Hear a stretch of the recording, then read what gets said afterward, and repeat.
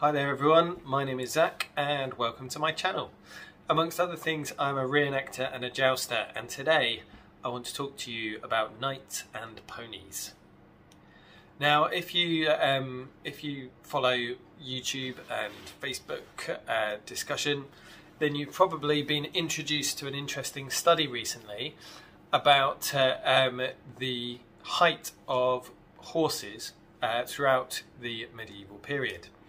Um, there was a study done recently, and I'll put a link to it in the um, description down below, which measured the heights of lots of different horse skeletons and uh, compiled them. It was great. I really enjoyed uh, reading it. I I love statistics. Um, that's probably not something I should uh, I should admit to. But this is the internet, and um, everyone's weird on the internet, so that's okay. Uh, I love statistics, and uh, I loved seeing this, and it was great for me because it actually confirmed a lot of the things that I've previously been saying about the size of uh, medieval horses. Now, unfortunately, uh, some people found this study, and it seems that they read uh, a very small section of it, didn't understand most of it and then wrote some clickbait articles saying that knights were riding around on ponies all the time and uh, did some very bad Photoshop uh, to demonstrate what that would look like. Um, this in turn got some people upset because obviously uh, what was being said in the study was not what was being said in the articles. Um, and it kind of, you know, it sparked a few videos. So I thought I'd throw my hat into the ring and uh, um, just kind of try and add some education to the topic because I think um, some people, um, especially the people writing the original articles, are kind of not really quite understanding some of the uh, the nuances of it. Okay, so first of all, and um, this is really important, is that the original study uh, is not saying that knights rode the horses that they found, okay? One of the very important things that you need to understand when studying anything in history is the things that we have may not be representative of um, of what they had back then. Okay, we've got a certain number of horse skeletons, but the number of horses uh, that lived throughout the medieval period was far in excess of what we have. The larger the, the study, the greater the chance that what we have would be representative, but also you cannot tell exactly what those horses were used for, okay? And all of that was laid out in the original study. So the people writing the articles and saying knights rode these horses uh, obviously didn't read the whole study. That is not necessarily the case. However, the study does show some interesting trends which do seem to back up what a lot of us um, have been saying about the size of medieval war horses. Um, now, before we get into this, um, there's a few things that we need to go through. You see, um, you may be surprised to hear this, but horse people uh, have invented an entirely new measuring system which only they use, and uh, it's all very confusing. Horses are not um, or you know in England at least, are generally not measured in standard units um, that most people would use, like centimeters or or um, or feet. Horses are measured in hands. Okay, and a hand is four inches, and any horse below 15 hands counts as a pony, uh, in modern terms anyway. All right. Uh, th- now this isn't 100% true. Some people say that ponies are anything under 14 hands and 2 inches. But, uh, um, you know, there's debate. If you get any two equestrians in a room, then you are bound to have at least three of them disagreeing. Okay, so um, so we've got horses. Horses are, you know, everything. Pony is anything under 15 hands, right? Now that's five foot tall, but another thing that you need to remember, because you know, this is uh, equestrianism and we do things weirdly over here, uh, is that we don't actually measure to the top of the horse's head as you would with a human, but we measure to the top of the horse's withers. That is the shoulder uh, of the horse. I'll put a picture up. Um, so that um, five foot measurement is measured to the top of the shoulder, not to the top of the head. Okay. Um, now, I think where a lot of people have got confused with this, a lot of the people who maybe um, wrote the original articles, is that pony can also mean a certain breeds of horses that don't get over a certain height are also called ponies.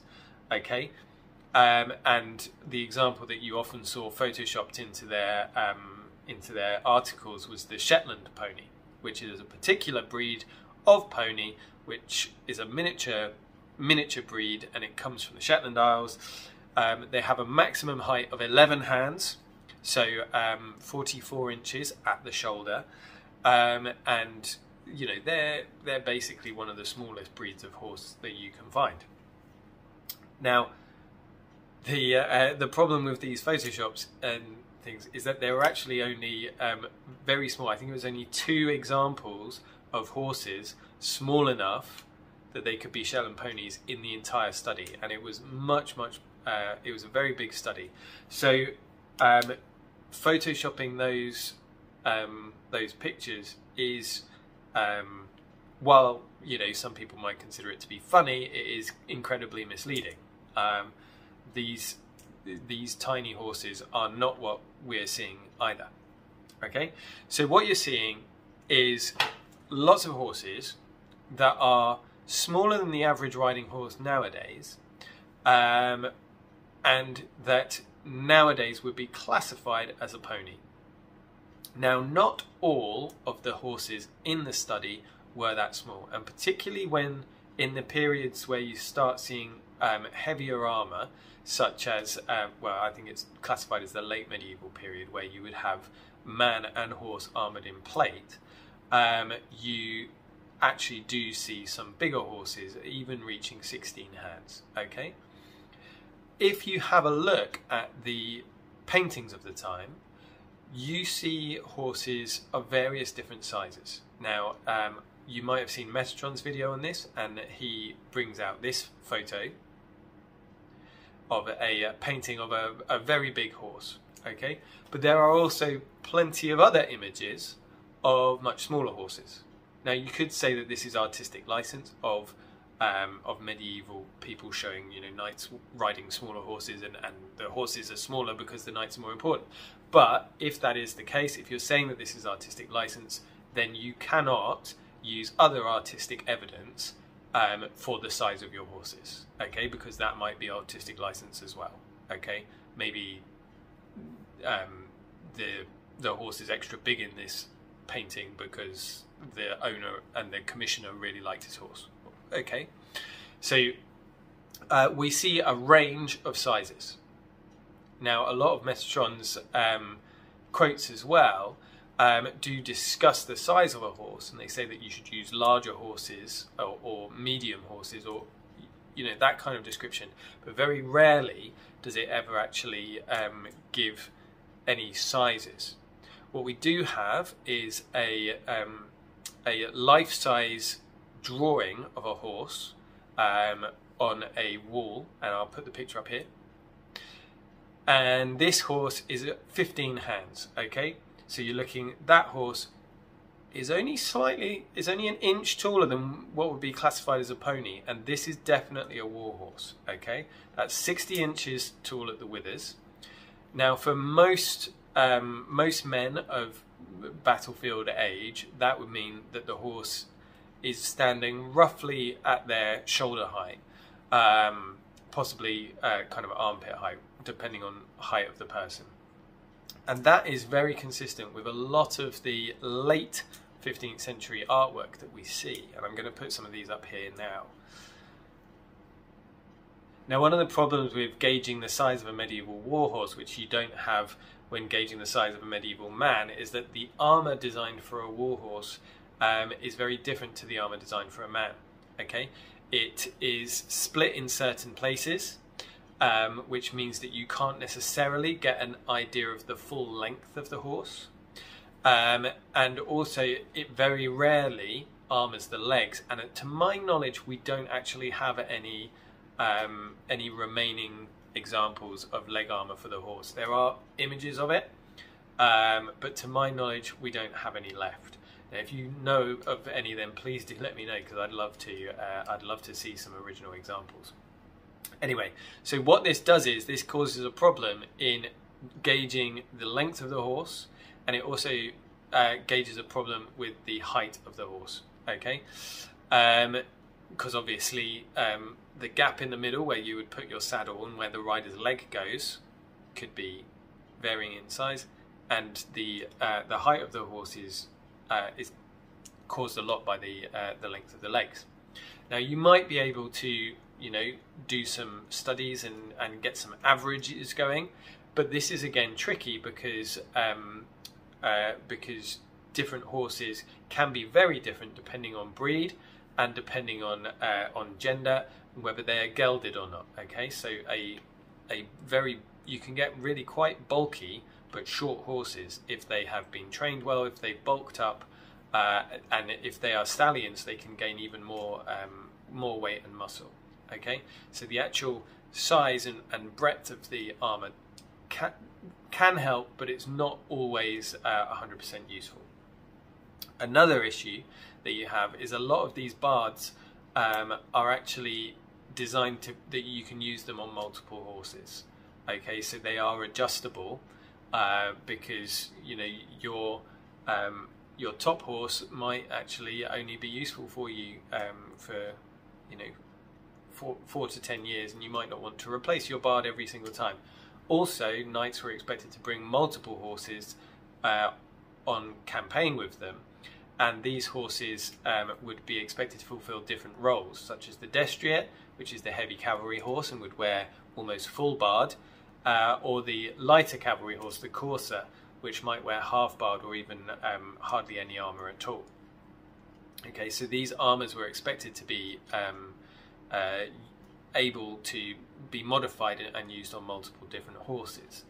Uh, so using a bard to to gauge the size of a horse can be tricky in in those respects. So the the study, I I just think the study is really really great. When I first saw it come out, I felt that this was good. This was some statistical evidence that backs up the art, uh, that backs up what we've been saying about you know horses not needing to be shire horses. By the way, shire horses didn't even exist in the medieval period. That breed came much later. Okay, um, and so you know it busts that misconception of the uh, the medieval warhorse being the shire horse. Unfortunately, some people, um, you know, the original article writers who didn't really understand what a pony actually is and how a horse is actually measured, have then taken this and in order to get clicks, have gone with the sensational idea of knights riding ponies without actually understanding what a pony is and what that actually means. Okay, so um, absolutely love the um, the study. I would love to see more on this. So if you're one of the people who are uh, doing the original study, thank you so much. This is great. This backs up what we've been saying for a long time in the jousting community. Uh, you know, if you came to this because you found one of the original articles uh, which I haven't linked here because I, I don't think we need to give them any more views. Um, please, you know, this they don't understand what they're talking about. A pony uh, is a much wider definition than uh, than what their clickbait um, articles are suggesting. All right. Um, thank you very much for watching this. Hopefully, this has given some extra information for you um, and helped you to um, understand the study and um, and given you a better idea of how that fits into the rest of our um, our knowledge of medieval war horses. Um, if you enjoyed this, please do like, share, and subscribe. And uh, I look forward to seeing you in a future video. Bye bye.